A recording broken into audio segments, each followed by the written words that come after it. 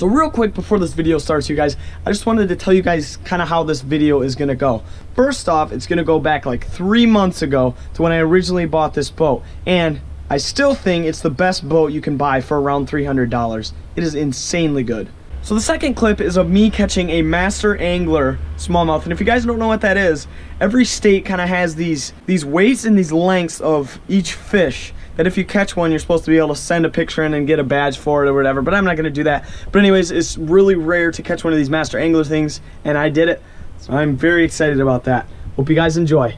Cut to the video. Hi there everybody, I'm Steven with Try It Outdoors, and today I bought a little something special. So instead of buying a fishing kayak like so many YouTubers do, or I guess fishermen in general, I bought a uh, blow-up rubber raft. So this is called the Colorado 9-foot high-capacity pontoon boat. It's pretty fancy. The idea being it's much more uh, portable and uh, easier to move, I guess, than those big bulky kayaks. And for my car, it works really good. So I ended up finding this on Craigslist. And we got a pretty good deal for it. And it's brand new. The guy never used it. So here's what it looks like when it's going to be done. It's got plenty of compartments. You can put an electric motor on the back. That's something ideally you do eventually. But for now, it's got paddles on the sides and plenty of storage everywhere. So I thought this would be a great option uh, for maneuverability and storage. Wow, yeah. that is nice. This is the throne right here. So this is a lot bigger than a kayak. It's going to be a lot more comfortable and a lot sturdier than a kayak for sure.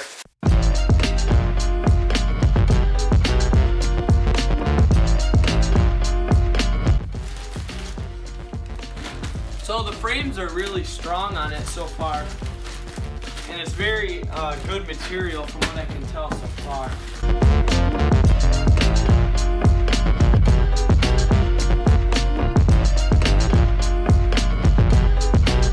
So this is a very strong canvas right here. Um, so that's gonna be good if, you know, if you accidentally get a hook in it. Hopefully I don't. But uh, that's good to see um, rather than just a rubber exterior like the bottom of it.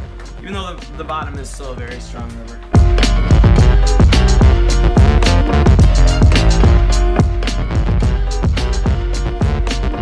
One immediate disadvantage we found is that uh, it doesn't come with a pump. It comes with this nozzle. We actually have basically a drill that pumps the air through, so we're all right with that. And we gotta top it off with a pump that comes from our K-boat. So if you guys haven't seen that episode, check it out. We used it all in Florida. It was it worked really good.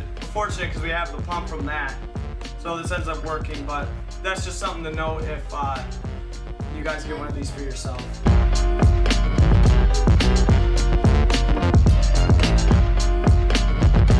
Alright, so we got the tubes done. Now we just gotta put the main frame together.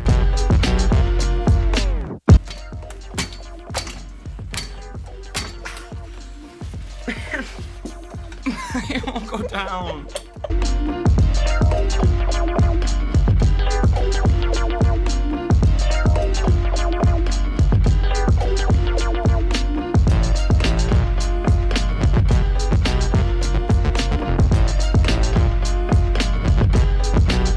So, it's finally starting to take its form now. It's got a sweet anchor rope that runs through all the way the back and it goes to this pulley right here, which is attached to that bag that you can fill either with rocks or I'm probably just gonna put an anchor on it.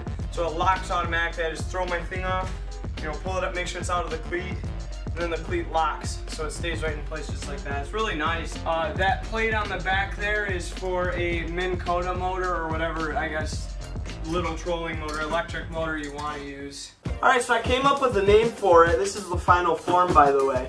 It's to be called Dilly Dilly, referencing Dill, two dill pickles and the Bud Light commercial. Possibly one of the greatest commercials of all time. Okay, so we got storage all through here.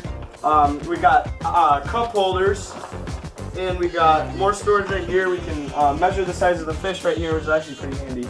Um, this is in inches and then centimeters, so that's kind of cool. Uh, you, there's carrying space all under the chair. Then we got the oars sticking up to the side, and we got the one rod holder they sent us. Now, I'm to work on a project here. I'm to make a couple rod holders I can put right here for extra pulls. If I want to bring both of my bait casters or a bait caster and a spinning rod, that works really good. Um, so I got more storage in the back here. This setup is pretty sweet. I cannot wait to use this. Now cut to that footage of when I finally get to use this. There's still snow on the ground. It might be a few days, if not weeks. First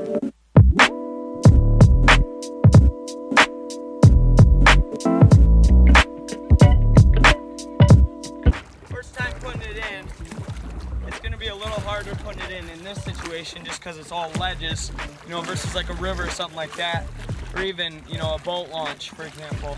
You're gonna be right level with the water versus here I gotta drop it in, so this might get a little sketchy.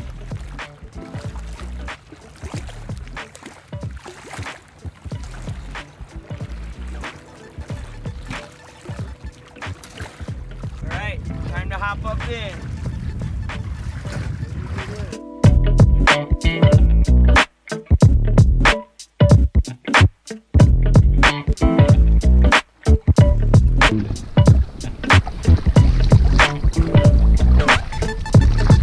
Well, this is great. I'm just anchored, jigging a little Senko. Got my legs propped up here. this is gonna be awesome. So another thing is, this is really roomy, honestly. Compared to a kayak, it's so much more comfortable. Because I got the padded seat. Oh, it's fantastic. First cast with the new lure on. I got a nice fish. Holy crap. Just kidding. wow, these freaking, oh. Okay, you guys. So the lake I fish in is like literally overrun by these guys. And for those of you that don't know, these are rock bass. Now these things are all over in this lake and they are so aggressive. We, they're actually decent eating, but I'm not gonna keep this one because I'm not trying to cut up a ton of fish tonight. But uh, got him on the red eye. Not too bad. I mean, that's a good one. Really good fighters because they use the sides of their bodies, you know, like kites in the wind almost. Alrighty, buddy, we'll see you later.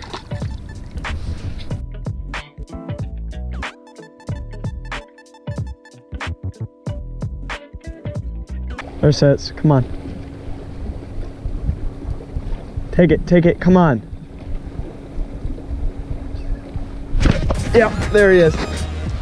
Got him. Good little bass. Good bass. Good bass. Is that smallie? I'm talking about, boys. Yeah, that's a nice smallie. All right. Holy crap. That's a good smallie. That's a good smallie, boys. Oh my gosh. This is a PR. Come on, don't get wrapped, don't get wrapped. No way, boys. Look at that bass. Holy crap. Yeah, boy. Look at that fish. That is a nice smallie right there, guys. That is what I'm talking about. Heck yeah. Boom, got him in that Senko. That's what I'm talking about, guys. Look at that fish, you guys. That is what I'm talking about, these big Lake Michigan bass. Woo-hoo-hoo-hoo. Best smallie of my life. He was just tapping at it ever so lately. Finally got him. So I didn't even realize it, but I have a little bass on. He's not little. I mean, he's a good bass. But hey, I didn't even realize I had him on. I was trying to, I saw another fish, so I was trying to go work on him. Oh, my line broke. He's right there. Dang, my line broke. well, there he goes. So that is all, you guys. I hope you all enjoyed. So this is my first time like really taking out this boat. And all in all, it was a great boat. For things like rivers and small ponds, I definitely suggest this thing. It's great for going through like rapids and it had no trouble with the waves. It was the fact that it sat so high on the top of the water that it gave me trouble. The wind was able to blow me. Now I had a decent anchor on and the anchor worked great and the whole mechanism worked great. So all in all, it wasn't too bad of an experience. Now, As far as that smallmouth, that is my, by far, my biggest smallmouth. By far, you guys. That thing was at least five pounds and I don't think, as I'm editing this video, that the video did it justice. This thing was massive, you guys. But yeah, guys, if you enjoyed, let me know down in the comments. Thank you so much for hanging out this long. Subscribe if you're new, guys. Peace out.